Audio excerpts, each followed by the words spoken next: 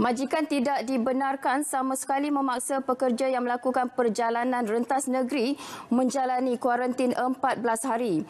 Menteri Kanan Keselamatan Datuk Ismail Sabri menegaskan ia satu kesalahan. Lebih-lebih lagi sekiranya majikan menetapkan tempoh kuarantin itu sebagai cuti tanpa gaji. Yang mendapat kebenaran daripada polis untuk merentas negeri tidak diwajibkan untuk membuat kuarantin 14 hari ini.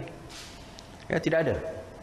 Jadi ini hanyalah majikan tersebut yang mengarahkan 14 hari tersebut tanpa peraturan yang tanpa mengikut peraturan yang disediakan oleh MKN. Jadi mereka pandai-pandai buat sendiri sajalah. Dan adalah salah pula oleh kerana mereka paksa pekerja mereka di kuarantin 14 hari, 14 hari itu dikira sebagai cuti tanpa gaji kalau ada peraturannya di bawah Kementerian Sumber Malaysia, maka Kementerian Sumber Malaysia boleh mengambil tindakan.